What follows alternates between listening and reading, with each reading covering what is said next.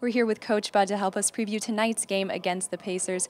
Coach, only two games left in preseason starting tonight with Pacers at Phillips Arena. Now, Hawks fans are all too familiar with this Indiana team, but what's your take on them? I don't know. I might ask some of the fans to come down and help us in a couple of timeouts. Uh, you know, I mean, Indiana is obviously one of the top teams in the league playing in the Eastern Conference Finals. They're excellent defensively. They're big. They're physical.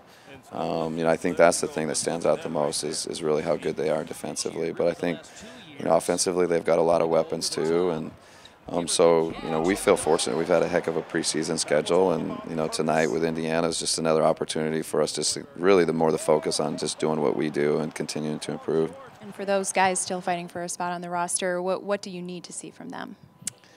Well, just that you know they're understanding their roles and, and what we need um, from guys that are going to make the team, and you know lots of times it's not necessarily what's happening in the game; it's what's happening in practice and what's happening before practice, and all the dynamics on a team and how important um, those players are. So there's a lot of things that you look for, and I think you know they know um, most of them are you know veteran guys and, and how to make a team.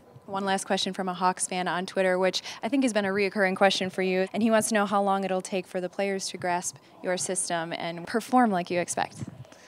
Well, yeah, I mean that seems to be like a recurring question, and I don't think you can ever, you know, say it's going to be this day or it's going to take this long. And I think some things will come quicker, and some things it's going to take more and more time. And you know, to be honest with you, you know, some of just the core basic principles they're they're really taking place, and the unselfishness and the assist and the sharing the ball, and um, there's a lot of things that the guys are already, um, you know, comfortable with, and there's just the layers that are going to continue to come that um, will take time.